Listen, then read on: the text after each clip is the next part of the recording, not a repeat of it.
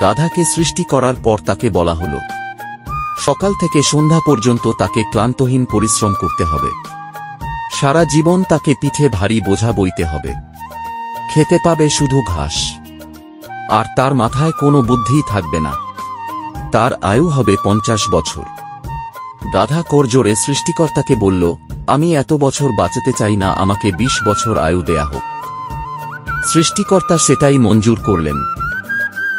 কুকুরকে যখন সৃষ্টি করা হলো তখন তাকে বলা হলো, সে হবে মানুষের সবচেয়ে বড় বন্ধু। কিন্তু সে খাবে মানুষের উচ্ছিষ্ট, এবং তার আয়ু হবে ত্রিশ বছর। কুকুর সৃষ্টিকর্তাকে বলল, আমি এত বছর বাঁচতে চাই না। আমাকে পনেরো বছর আয়ু দেয়া হোক। সৃষ্টিকর্তা সেটাই মঞ্জুর করলেন।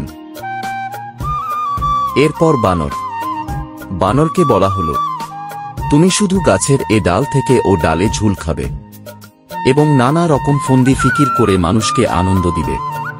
তোমার আয়ু হবে ২০ বছর। তখন বানর করজোরে সৃষ্টিকর্তাকে বলল, আমি ২০ বছর চাই না, আমাকে দশ বছর দিন। সৃষ্টিকর্তা সেটাই মঞ্জুর করলেন। এবার এলো পুরুষ মানুষের পালা। তাকে বলা হলো যে, তুমি হলে প্রাণীগুলোদের মধ্যে সবচেয়ে বিচক্ষণ ও বুদ্ধিমান। সেজন্যই তোমাকে প্রাণীদের শিরো মনে করা হলো, এবং তোমার আয়ু হবে ২০ বছর।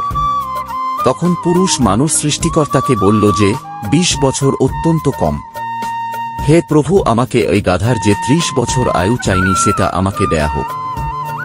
ওই যে কুকুর পনেরো বছর ফিরিয়ে নিয়েছিল, সেটাও আমাকে দেয়া হোক। আর যে বানর দশ বছর নেয়নি, সেটাও আমাকে দেয়া হোক। বিশ বছর অত্যন্ত কম। এই কথাও সৃষ্টিকর্তা মঞ্জুর করলেন।